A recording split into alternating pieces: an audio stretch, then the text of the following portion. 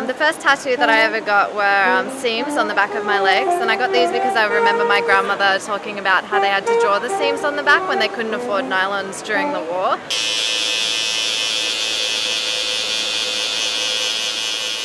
Since I was about 14, I've wanted to be a tattoo artist. Um, and then, you know, I went to uni and did all the graphic design stuff, and but it's always been in the back of my head like I still want to be a tattoo artist. And then I decided to just hand my portfolio in and get an apprenticeship, and I, I did straight away. Prior to working in finance, I was working in IT, and it was a service desk, desk role, and you know, they're completely relaxed about that sort of thing there. Uh, the beginning of a sleeve, which is inspired by one of my favourite bands called The Adicts, or uh, a very early punk band from uh, from London. They have a lot of uh, clown imagery and a lot of droog imagery, so Clockwork Orange style thing behind that. It's the uh, Stargate address from Earth of the TV show of the same name. Uh, I got it because it's basically I like to wear my geek on my skin, and uh, this is uh, if found return to, like that tag on your keys. It's my lucky D20 here from Dungeons and Dragons. Uh, every time I'm feeling a little bit unlucky or I want to get a bit more good luck, I give it a bit of a rub. It makes me feel better. And that one's a little Japanese inspired piece. It was by Matt Wisdom at um, Westside Tattoo.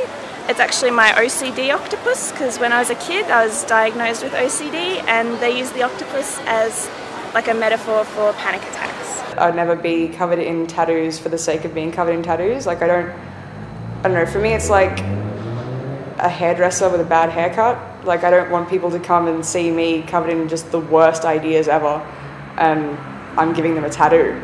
Well, yeah, I intend uh, intend on eventually being covered, but it's just a work in progress sort of thing.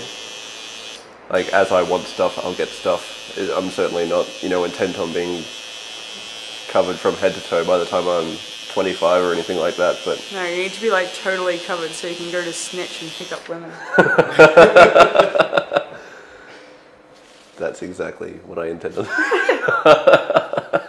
the hardcore scene has really expanded, and that just comes with like a massive amount of tattoo culture.